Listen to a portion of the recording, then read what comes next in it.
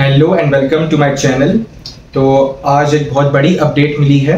UP की जो NEET counselling होने वाली है, उसमें एक बहुत मेजर अपडेट देखने को मिला है।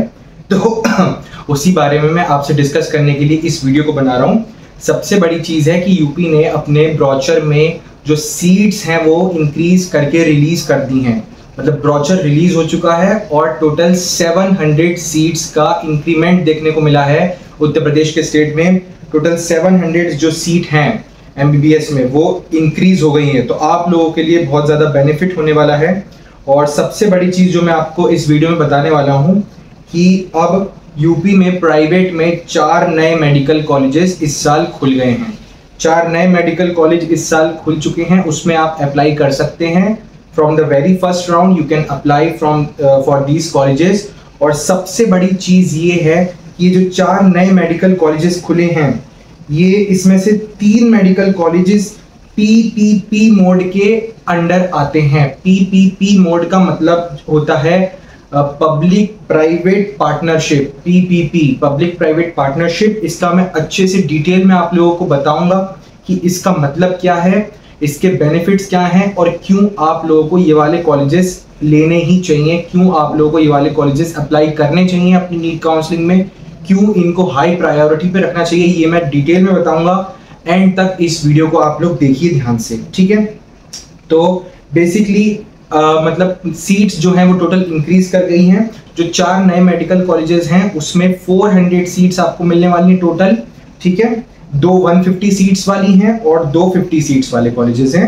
और बाकी के जो तीन मेडिकल कॉलेजेस पुराने थे, उसमें 100 100 100 सीट्स इंक्रीज करके ऐसे टोटल 700 सीट्स इंक्रीज हुई हैं इस बार तो आप लोगों को थोड़ा बेनिफिट तो मिलेगा ही। सबसे पहले बात कर लेते हैं हमारे जो पुराने मेडिकल कॉलेजेस थे, उसमें इस साल जो कितनी सीट्स का इंटेक रहने वाला है, जो नया अपडेट आ चुका है, उसके हिसाब से मैं आप लोगों को बता दूँ। सबसे पहले बात कर लेते हैं career institute of medical sciences जो कि लखनऊ में सिचुएटेड है। इसकी 150 सीट्स का इंटेक है। फिर उसके बाद बात कर लेते हैं F H medical college Agra 150 seats intake Era Lucknow medical college 150 seats intake integral institute of medical science Lucknow में सिचुएटेड 150 सीट्स तीर्थांकर महावीर, मुरादाबाद में जो सिचुएटेड है, उसका भी 150 सीट्स का इंटेक है। और Subharti medical college, Meerut 200 seats Shri Ram Murti 150 Muzaffarnagar medical college 200 seats Rohilkhand में देखने को मिलती हैं 250 सीट्स ठीक है? रामा मेडिकल कॉलेज, जो कानपुर में सिचुएटेड है 150 seats Saraswati Hapur 250 Hind institute Barabanki 100 seats.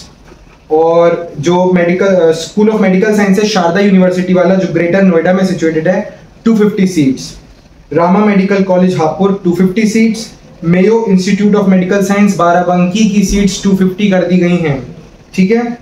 Rajshree Bareilly 250 heritage institute जो है वाराणसी में 200 seats Hind medical college Sitapur वाला 150 सीट्स पहले भी इतनी थी, कोई बढ़ाव देखने को नहीं मिला, कोई इंक्रीज देखने को नहीं मिला।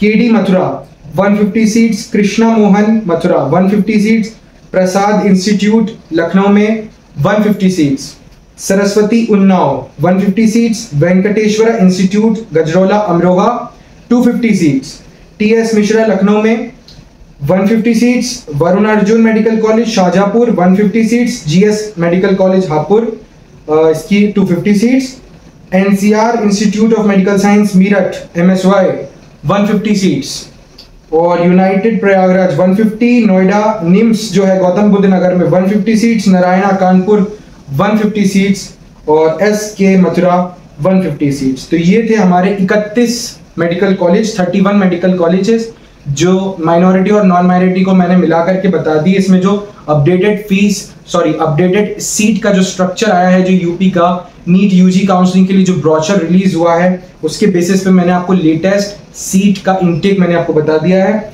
अब मैं आपको बता देता हूँ, जो चार नए मेडिकल कॉलेजेस खुले हैं, Shri Gorakhnath medical college hospital and research centre Gorakhpur में। इसमें 50 सीट्स का इंटेक है ओनली 50 50 बच्चों का ही इंटेक है। Ajay Sangal institute of medical sciences and research centre and Ayushman hospital Shamli ये पीपीपी मोड के अंडर में आता है, इसमें 150 सीट्स का इंटेक लिया जा रहा है।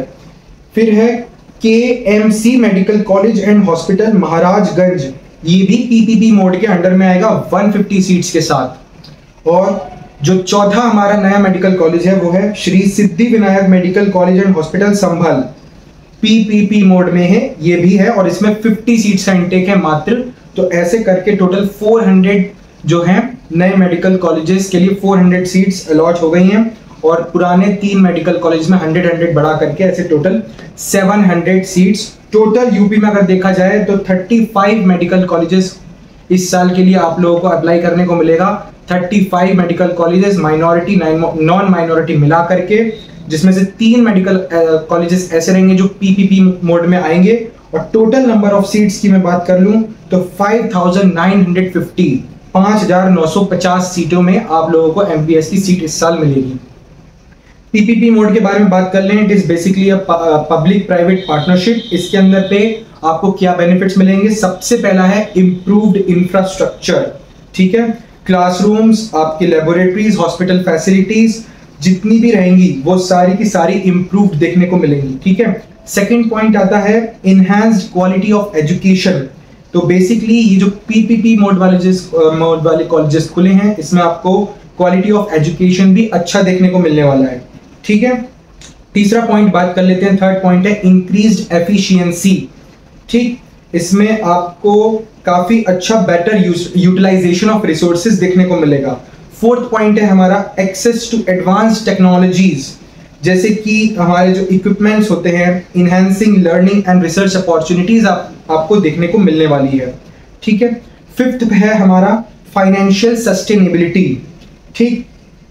तो इसमें आपको सस्टेनेबल फाइनेंशियल मॉडल्स इंस्टीट्यूट के लिए देखने को मिलेंगे। सिक्स पॉइंट है हमारा इंडस्ट्री कोलेबोरेशन यहाँ पे आपको मतलब डेवलपमेंटल प्रोजेक्ट्स इंप्लॉयमेंट अपॉर्चुनिटीज़ और बेटर इंटर्नशिप देखने को मिलने वाली है।